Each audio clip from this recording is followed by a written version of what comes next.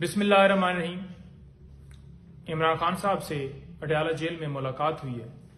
खान साहब को किस हालत में रखा गया है और कैसे हमारी उनसे मुलाकात हुई, तमाम तफसीलात आपके सामने रखना चाहूँगा। मुसलसल हम रबता कर रहे थे जब खान साहब को अडयाला जेल ले गए पहले तो रिस्पांस कोई नहीं दिया गया और अर्जेंट नोटिस दिया गया कि फ़ौरन पहुँचे। और हम पहुँचे तो बड़ी दहशतगर्दों की तरह हमारी तलाशी ली गई और कहा गया कि कोई चीज़ आपने लेकर नहीं जानी। पहले भी कोई इस तरह का जो है वो सिर्फ़ और सिर्फ़ हमारे पास एक, वो क्या कहते हैं कि एक पेन था या फिर कुछ डॉक्यूमेंट्स थे जो उनसे साइन करवाने थे और हमने नोट बनाया हुआ था केसेस के हवाले से क्योंकि आपको पता है कि 200 के करीब खान साहब के ऊपर केसेस जो हैं वो दर्ज किए गए हैं। तो वो तफसीलात उनको देनी होती हैं कि इस केस में ये प्रोसीडिंग हुई है। इस केस में ये मामला हुआ है। तो वो उनसे डिस्कस होती हैं और वो जो उनसे हदायत मिलती हैं केसेस के हवाले से, वो फिर हम आगे आपस में डिस्कशन करते हैं। तो एक लीगल हवाले से हमारी डिस्कशन और उसको नोट करने के लिए, कुछ अपने नोट्स जो बनाए होते हैं उनसे शेयर करने के लिए, वो सारे पेपर्स और सारी चीज़ें हम लेकर जाते हैं। तो उन्होंने कहा जी कि कोई, आपको इजाज़त नहीं है, आप कोई चीज़ लेकर नहीं जा सकते। बड़ा हमें हैरानगी हुई। एक जगह के ऊपर तलाशी ली गई, ओवरऑल चेकिंग की गई। और हमारे पास तो सिर्फ़ वही एक पेन और वो पेपर थे, वो उन्होंने ले लिए।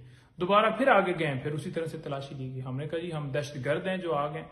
यानी कि ज़िंदगी में कभी हमने ऐसा हिस्ट्री में नहीं सुना कि कोई वकील अपने क्लाइंट से मिलता है तो उसको जो बेसिक चीज़ें हैं, वो जो डिस्कशन के लिए, लीगल डिस्कशन के लिए इन चीज़ों को ले जाने के ऊपर भी पाबंदी हो कि आप पेपर नहीं ले जा सकते, आप पावर ऑफ़ टर्नी नहीं ले जा सकते, या आप जो है वो पेन नहीं ले जा सकते। तो ये सिर्फ़ और सिर्फ़ हमारे साथ नहीं हुआ, उसके साथ साथ हमारे दीगर जो सीनियर्स वकला थे उनके साथ भी ऐसा ही रवैया देखने में मिला, जो कि सुप्रीम कोर्ट के वकील और बड़े सीनियर वकला थे अच्छा बहरहाल खान साहब से मुलाकात हुई, और खान साहब, आप सबको पता है कि हमेशा हम बताते हैं कि वो बहुत ज़्यादा हमेशा हाई स्पिरिट में होते हैं और इसी तरह से हमने देखा कि जिस दफ़ा हमारी मुलाकात हुई, पिछली दफ़ा से ज़्यादा उनकी स्पिरिट्स थी, वो बुलंद होती हैं। तो खान साहब से मुलाकात हुई तो खान साहब से हमने पूछा। पहली बात तो यह है कि खान साहब ने सिर्फ़ और सिर्फ़ जितना टाइम हो गया खान साहब को जेल के अंदर, उन्होंने सिर्फ़ एक ये कहा था कि मुझे चलने के लिए वॉक करने के लिए जो है वो इजाज़त दी जाए। तो उनको इजाज़त नहीं मिली। और उन्होंने उनको रिक्वेस्ट की कि मुझे जो है वॉक करने का जो है वो इजाज़त दी जाए कोई स्पेस दी जाए जहाँ पर मैं वॉक कर सकूँ। तो पहली बात तो ये है कि किसी जगह के ऊपर, किसी कानून में, किसी प्रोसीजर में, किसी जो जेल मैनुअल है, उसमें ये ज़िक्र किसी जगह के ऊपर नहीं है कि आप किसी को चलने की इजाज़त से रोक सकते हैं, आप किसी को जो है इस तरह की पाबंदियाँ लगा सकते हैं।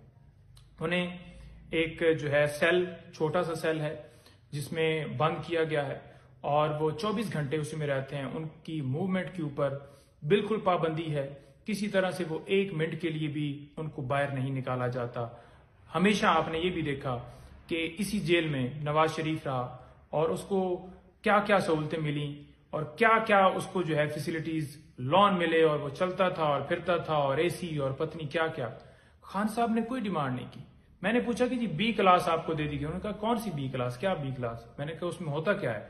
बताया कि वो चला रहे हैं जी कि कूलर आपको मिला है जी। उन्होंने कहा, जी, नहीं, कोई ऐसा नहीं। उसने कहा, नहीं कूलर मुझे चाहिए भी नहीं, क्योंकि मौसम ठीक है, मुझे कोई उसमें इशू नहीं और मैं तो इस चीज़ की मेरी डिमांड नहीं और मैंने तो सिर्फ़ वाक का कहा है बात यह है कि जो ये खबरें चलाई गई, कि उनको बेटर फैसिलिटीज़ दे दी गई, सारी झूठी हैं। और खान साहब ने एक मुतालबा किया कि ओपन ट्रायल वो किया जाए। ओपन ट्रायल क्यों नहीं किया जा रहा है इस केस का? साइफर केस के अंदर खान साहब को इस वक्त गिरफ़्तार किया हुआ है। और खान साहब ने कहा है कि ये जो प्रोसीडिंग है, पूरी दुनिया के ऊपर जो है वो सबको, सबके सामने होनी चाहिए। लॉयर्स की एक्सेस होनी चाहिए।